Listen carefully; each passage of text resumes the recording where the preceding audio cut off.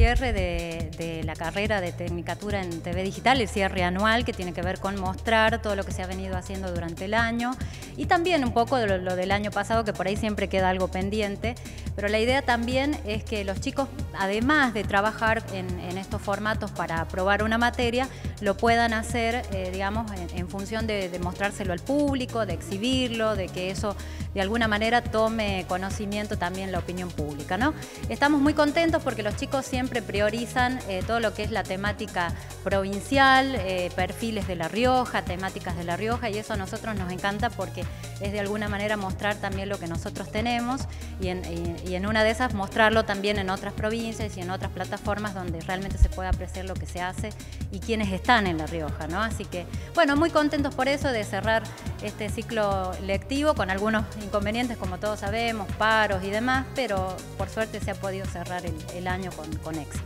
Bueno, contento ya de cerrar un poco el año. Eh, la verdad, hemos eh, generado unos trabajos audiovisuales muy interesantes. Pudimos trabajar con